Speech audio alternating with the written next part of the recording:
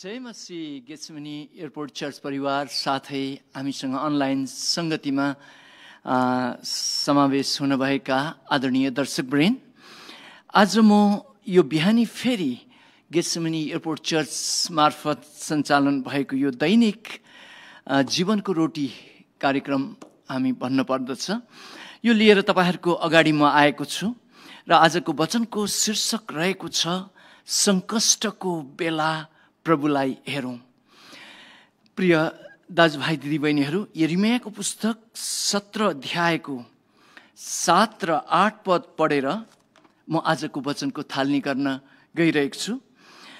र पवित्र बाइबलको यस खण्डमा यस प्रकारले भनिएको छ तर त्यो मानिस धन्य हो जसले परमप्रभुमा भरोसा राख्दछ जसको आशा परमप्रभु हुनुहुन्छ त्यो पानीको किनारमा रोपेको रुख जस्तो हुनेछ जसले आफ्नो ऋतुहरूमा जसले आफ्ना जगहरू खोलाको किनारमासम्म फैलाएको हुन्छ। गर्मी हुँदा त्यो डराउँदैन जसका पातहरू सधैँ हरिया हुन्छन्।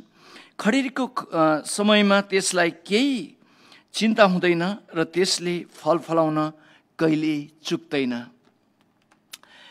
प्रिय दाजुभाइ दिदीबहिनीहरू यस खण्डमा परमेश्वरको वचनले हामीलाई स्पष्ट यो बताएको छ कि परमेश्वरले हामीलाई धरतीमा हुँदाखेरि सङ्कष्टको समयमा भएर जान दिनुहुनेछ तर यो नै तपाईँको अन्त होइन।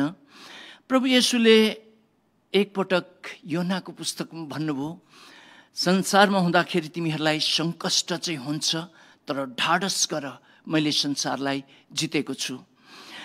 र संसारमा हुँदाखेरि सङ्कष्ट हुँदैन भनेर चाहिँ प्रभुले बताउनु भएको छैन तर सङ्क संसारमा हुँदाखेरि सङ्कष्ट चाहिँ हुन्छ तर ढाडस गर मैले संसारलाई जितेको छु भनिकन उहाँले स्पष्ट गर्नुभएको छ। र हामीले प्रभुमा भरोसा राखेको कारणले गर्दा हाम्रो आशा प्रभु येशूमा भएको कारणले गर्दाखेरि जे जे सङ्कष्टहरू तपाईँले सामना गर्नुहुनेछ भोग्नुहुनेछ।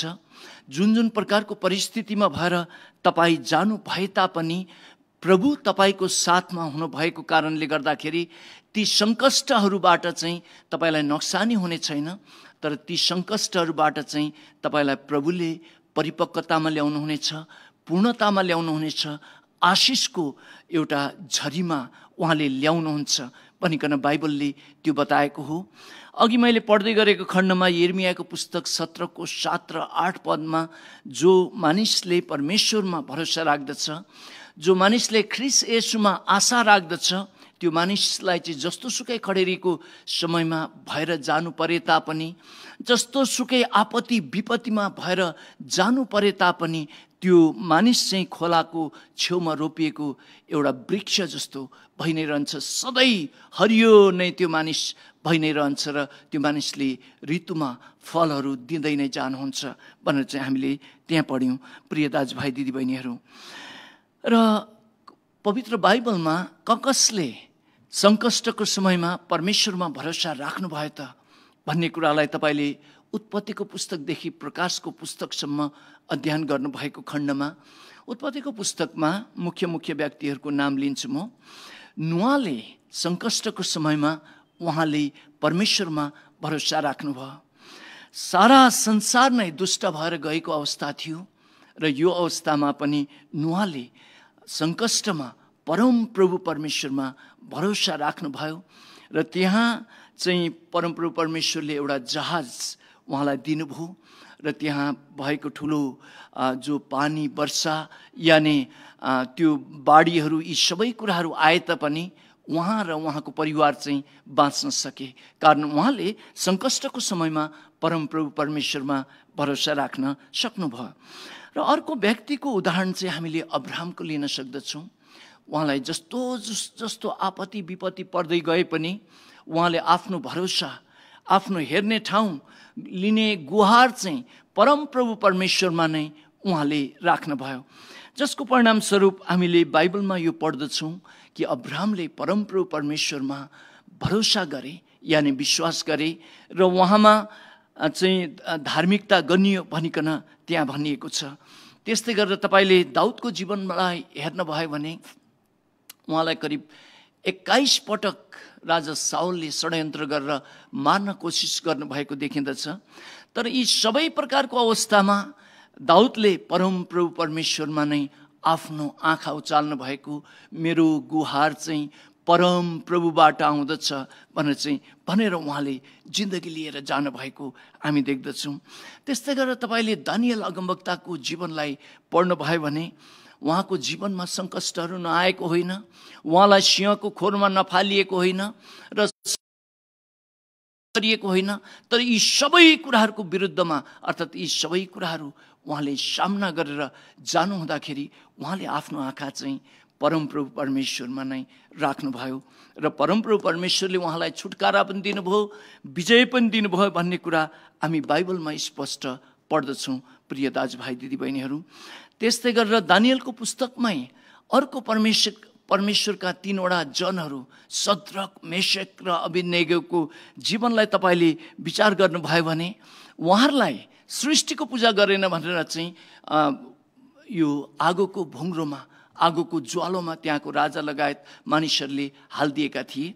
यद्यपि उहाँहरूले यो सङ्कष्टको समयमा परमप्रभु परमेश्वरमा नै भरोसा गर्नुभएको कारणले गर्दा उहाँहरू आगोको ज्वालोभित्र हुनुहुँदाखेरि परमेश्वरको पुत्र उहाँलाई बचाउन आउनु भएको हामी त्यहाँ देख्दछौँ र उहाँहरूको भरोसा परमप्रभु परमेश्वरमै भएको हामी देख्दछौँ।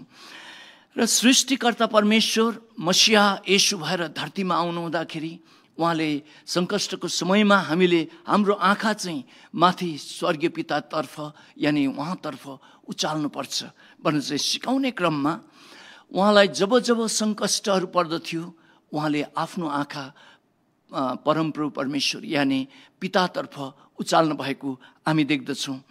र हामीले अन्तिम उहाँको सङ्कष्ट जो क्रुसमा चढ्ने सङ्कष्टको समयमा पुग्नु भएको थियो गेत्समनीको बगैँचामा उहाँले आफ्ना चेलाहरू लिएर जानुभयो र केही पर गएर उहाँले चाहिँ त्यो सङ्कष्टको समयमा परमप्रभु परमेश्वर यानि पितालाई गुहार माग्दै गर्नुभएको हामी त्यहाँ पढ्न पाउँदछौँ र उहाँले भन्नुहुन्छ हुन सके यो कचौरा मबाट हटिहालोस् तरै पनि मेरो इच्छा होइन तपाईँको इच्छा पुरा भएको होस्। भनिकन उहाँले यसरी प्रार्थना गर्नुभएको हामी देख्दछौँ।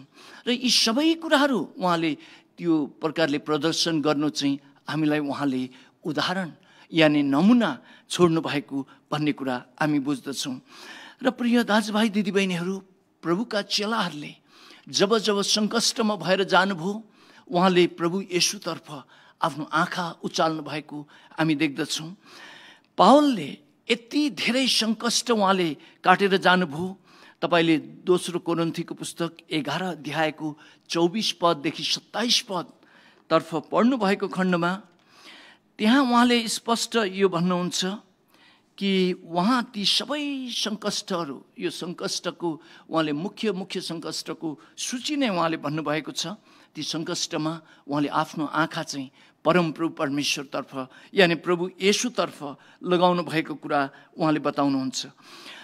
दोस्रो कोरन्थीको पुस्तक एघार अध्यायको चौबिस पददेखि सत्ताइस पदसम्म म पढिदिन्छु। पाँचपल्ट मैले यौदीहरूको हातबाट एक कम चालिस गरी कोर्रा खाएँ। तिनपल्ट मलाई लौरोले पिटे एकपल्ट ढुङ्गाले हाने तिनपल्ट म चढेको जहाज ध्वस्त भयो।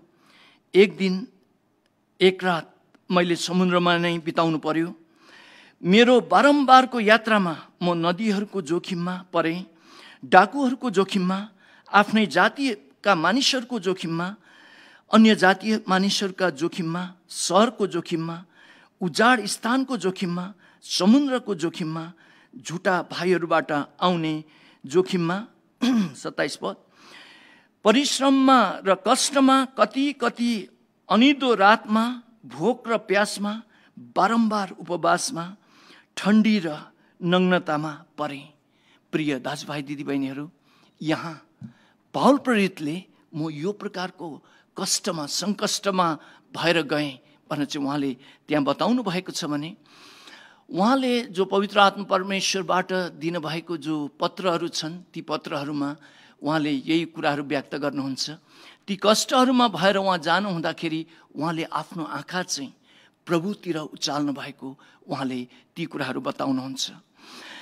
र प्रिय दाजुभाइ दिदीबहिनीहरू हामीले किन सङ्कष्टको बेला प्रभुलाई हेर्नु पर्दछ त भन्ने प्रश्न आउला। यस अवस्थाको अर्थात् यसको उत्तर चाहिँ यो हुन जाँदछ कि उहाँ प्रभु येसु सर्वशक्तिमान परमेश्वर हुनुहुन्छ। धरतीमा उहाँको शक्ति बाहेक अन्य कुनै पनि शक्ति उहाँको अगाडि टिक्न सक्दैन। उहाँ चाहिँ सर्वशक्तिमान परमेश्वर हुनुहुन्छ।